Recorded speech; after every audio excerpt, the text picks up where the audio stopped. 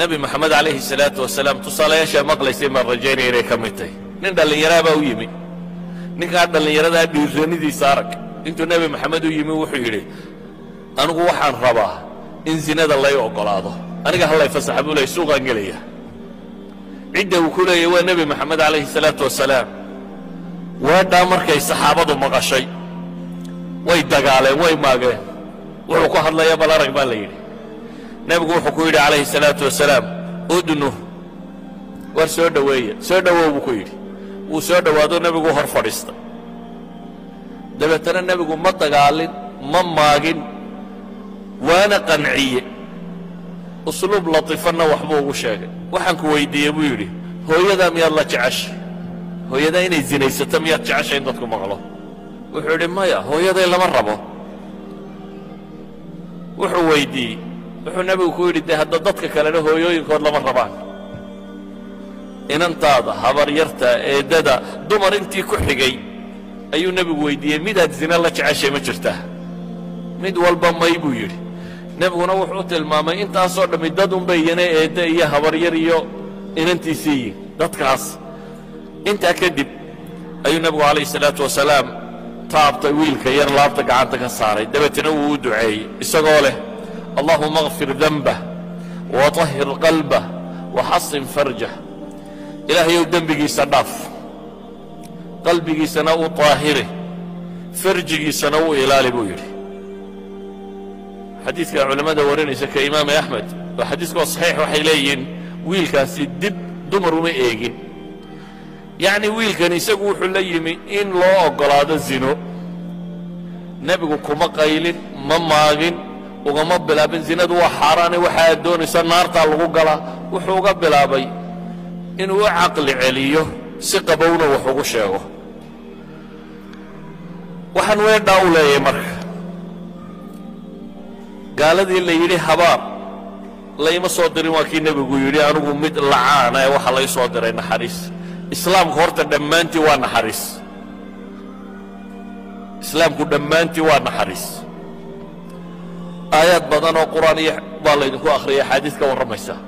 Waxaa laga yaabaa dadka badh inay yidhaahdaan oo jaraaxa ka warran qisaasta iyo dilka iyo gacangoynta iyo waxaan iyaduna naxariistay ka mid. Miaal baan ku siinaya waxay la mid tahay.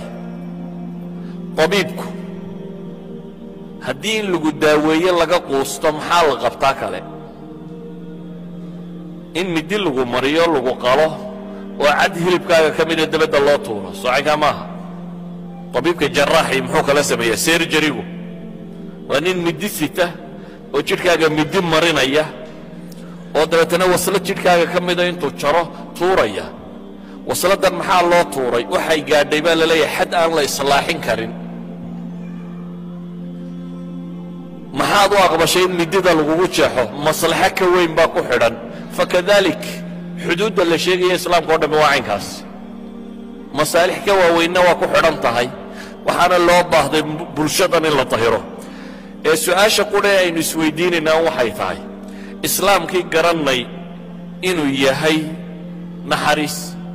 Nebi maxamedna garanay calayhi salaatu wasalaam akhlaaqdiisa iyo dhaqankiisu inay ahayd alrifq inuu wax u dhimriyo. Haddaba kayfa nuqadimu alislaama linnaas? Dadkasaynu diin u gaadhsiin ma inagoo dagaalayna ma inagoo laynayna ma inagoo maagayna maya. Nebi maxamed wuxuu leeyahay man yuxram alrifqa yuxram alkhayra. Ninkii dhimrinta iyo dabacsanida laga waayey khayrba kaasi ma wata buu nebigu leeyay wuu khayr waayey. Dabacsanaantu diintay ka mid tahay. Cunfiga iyo xiddada iyo dagaalka iyo cadhada iyo qallafsanaanta iyo qalbi engeguna diinta kama mid aha dabacsanida iyo dhimrintu waxay ka dhashaan.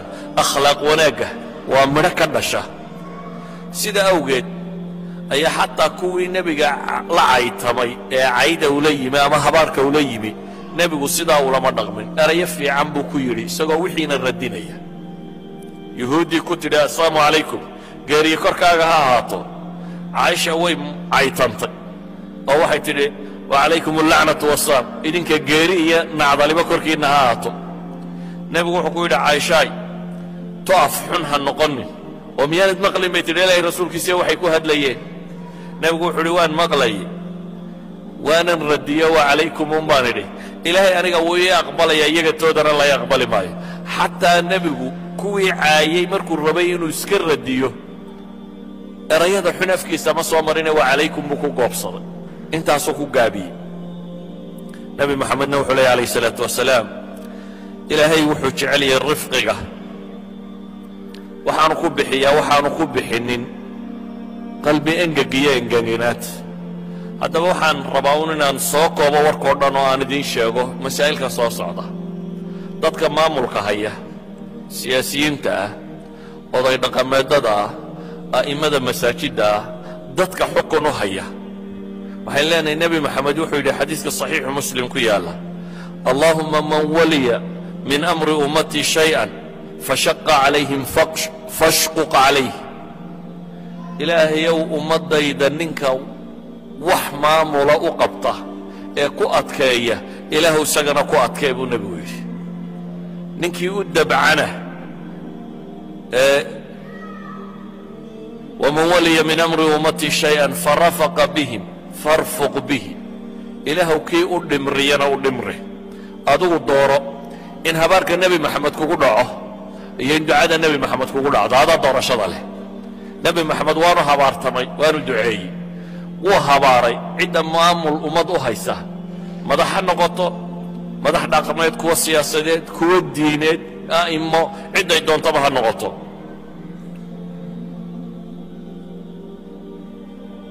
Waxaad ku weydo samo iyo dabacsanaanna xoog xoog laguma helo. Nebigu wuxuu leeyahy rifqigu dabacsanidu shay ma ma ma lagula yimaado ilaa iyo zaana wuu qurxiyaa. Shayna dabacsanida lagama saaro ilaa iyo shaana wuu ceebeeyaa wuu xumeeyaa. Ciddii dabacsanaan la siiyey dheeftiisaa khayr laga siiyey. Ciddii dabacsanida weydayna khayr waa waayey buu nebigu yidhi xad buu nebigu ka gaadhay dabacsanida safar iyadoo lagu jiro ayaa nin dhallinyaroo saxaabiyo cod macaana oo awr hoggaaminaya dumar saaran yihiin ayaa awrtu hees ugu dhuftay. Nin aad u cod macaanna uu ahaa. Xoolaha waxaa la yaqaannaa heesaha loo qaado way bartaan. Marka la carraabinayo mid baa loo qaadaa marka la hoggaaminayo mid baa loo qaadaa marka la waraabinayo mid baa loo qaadaa qof cod macaani hadduu gela u heeso isagoo hoggaanka u haya awrtu way dheeraysaa iyadoo dhegaysanaysa qofka kan. Saxaabi la yidhaahda anjasha oo aad u cod macaana ayaa hees ugu dhuftay awrtuu hoggaaminayey. Dabeetana awrtii baa dheeraysay oo xoog u dheeraysay.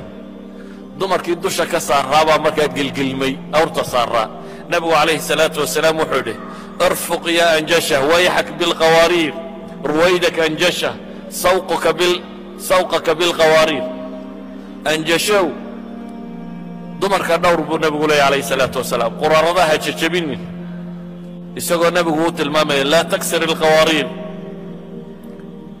yacni nebi maxamed wuxuu gaadhay xad naxariistiisu. Awrkaa la hoggaaminayo qofka saaran inaan la gelgelin uu rabo ee si fiican loo kaxeeyo. Waxaan ku soo koobayaa leeyahay qoys kasta oo dhisan. Hadday dhimrintiiyo naxariista isticmaalaan way jirayaan. Haddii islaantu ay kakanaato qaylo badnaato. Ama odaygu askari uu noqdo marka uu soo galo awaamirun bixiyo yararku derbiyada kala galaan qofka meel ku dhuunto. Sidii kornayl guriga soo galay. Hadday saa noqoto nebigu wuxuu leeyahy idaa araada allahu biahli beytin khayra adkhala calayhim alrifqa baa nebigu yidhi. Guri haddii ilaahay khayr la doono dabacsaniduu geliyaabaa ayuu nebigu leeyahy calayhi salaatu wasalaam. Guri haddii khayr lala doono